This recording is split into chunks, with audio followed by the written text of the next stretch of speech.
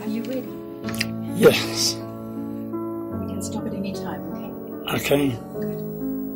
Interview with Louise Sokolov, 21 February 2004.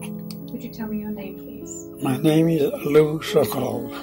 Is that the name you were born with? No, I was born Ludwig Eisenberg. What name are you known As As a Lale, they call me Lale.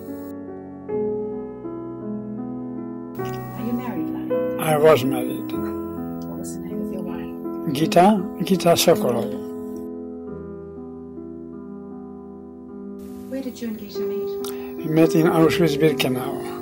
How did you meet Gita? I was Auschwitz-Birkenau tattooist, tattooer, and I tattooed her number of her left arm, and she tattooed her number in my heart.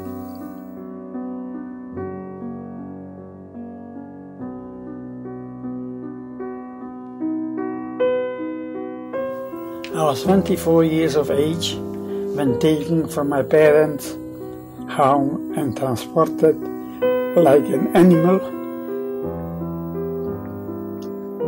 to an unknown place.